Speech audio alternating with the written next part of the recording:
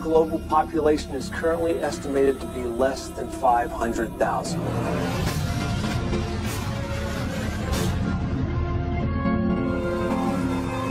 I know it seems pretty bad.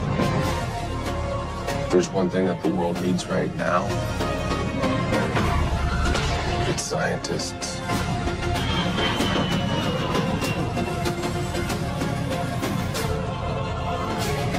Unforeseen consequences occur.